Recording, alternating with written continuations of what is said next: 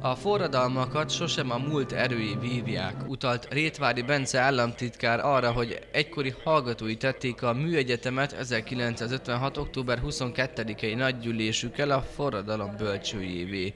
A műegyetemista fiatalokat ugyanakkor az 56-os események talán kicsit alul értékelt figuráinak minősítette, pedig sok minden az intézmény falai közül bontakozott ki, mutatott rá ünnepi beszédében a Budapesti Műszaki Egyetemen hiszen ők voltak, akik forradalmat vívtak ki.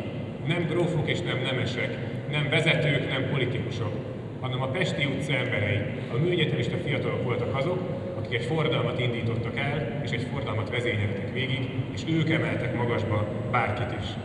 És ez a forradalom messze túlmutató jelentőséggel bírt az ország határain kívül is hiszen ez volt az, amelyik felnyitotta a nyugati világnak a szemét, akik még esetleg valamelyest rokon szembeztek a kommunizmussal, és egyfajta idilli, egyenlőségre épülő állapotnak tartották azt, ami a lajtától keletre a vasfüggönyen túl zajlik, azok az 56-os fordulom után megtapasztalhatták, hogy egyáltalán nem erről van szó, az idei ünnepséget zenés irodalmi műsor is színesítette, amelyet a Pataki 8 kor színház mutatott be. Az együttes tagja Karacs Imre egykori 56-os építész hallgatólánya.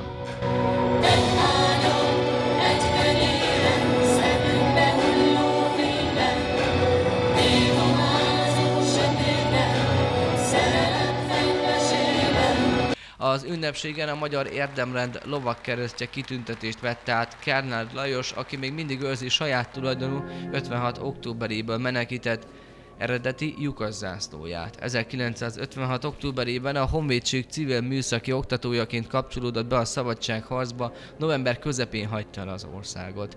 Kellner Lajos számos 56-os megemlékezés közte a műegyetemi ünnepség állandó résztvevője.